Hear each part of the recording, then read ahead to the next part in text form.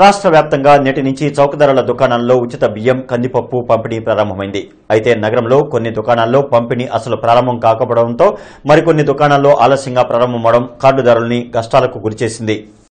ప్రతి నెల ఒకటవ తేదీ నుండి చౌకదారుల దుకాణాల్లో ప్రారంభం కావాల్సిన రేషన్ పంపిణీ ఈసారి కరోనా నేపథ్యంలో ఆదివారం నుండే పంపిణీకి శ్రీకారం చుట్టారు. కార్డుదారులు అందరికీ ఈసారి ఉచితంగానే అందించాలని ప్రభుత్వం నిర్ణయించింది. పూట గడవడమే కష్టమైన పేదలు ఆదివారం ఉదయానికే బియ్యం పప్పు కోసం కార్డులు తీసుకుని సమీప రేషన్ దుకాణాల వద్దకు చేరుకున్నారు. సామాజిక దూరం పాటిస్తూ క్యూలో బారులు తీరారు. అయితే కొన్ని దుకాణాల్లో సరుకు ఇంకా అందలేదు. రేపు రమ్మంటూ డీలర్లు చెప్పడంతో దిగాలుగా వెనుతిరిగారు. మరికొన్ని దుకాణాల్లో సాంకేతిక కారణాలతో జాప్యం సాగింది. నిరీక్షించిన పేదలు డీలర్లపై తీవ్ర అసహన ఆగ్రహం వ్యక్తం చేశారు.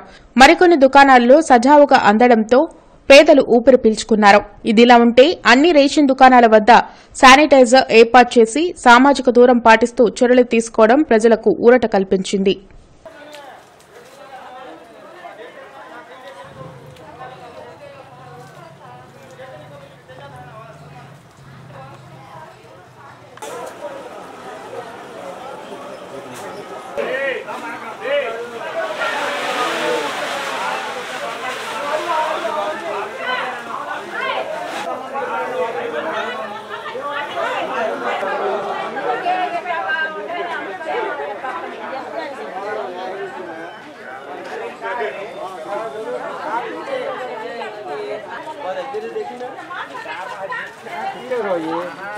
అరే నువ్వు ఆడుతురా చక్కే.